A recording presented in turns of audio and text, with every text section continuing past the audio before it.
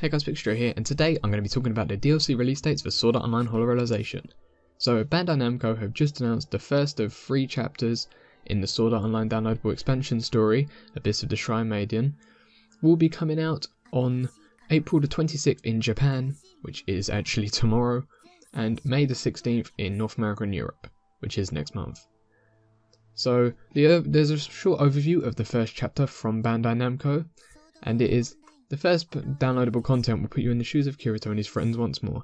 A new stage in Ironclad Castle where flame and earth, magma, and heat waves dominate the atmosphere will be the main scenario. Defeating Bane, the Crimson Demon, is the target. But while the group is trying to clear this incredible new stage, Premiere suddenly complained of a headache.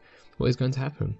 At the same time, a mysterious masked person makes his appearance. Will it be ally or a new enemy? With the main new main scenario comes a new heroine quest, where you have the chance to add Asuna, Lisbeth, Silica, and Premiere as a heroine in the first chapter Enigma Order Quest, where you can acquire the Precious Fuse Paragon, Mystic, and Organa GP Order items, and skill for becoming more powerful as never before. And also extra customization to change the appearance of the main characters.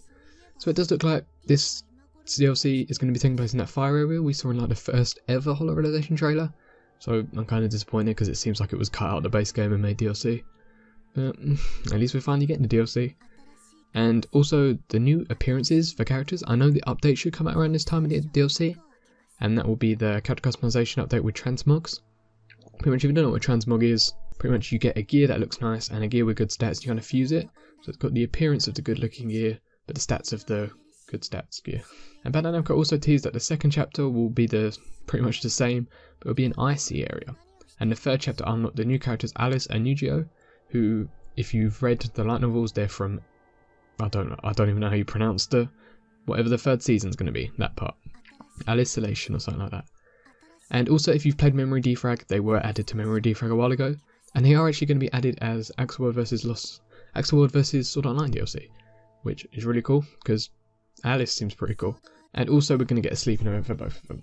So that is it for this video. If you did enjoy it, please leave a like and a comment, and I'll see you guys soon for more videos. Adios.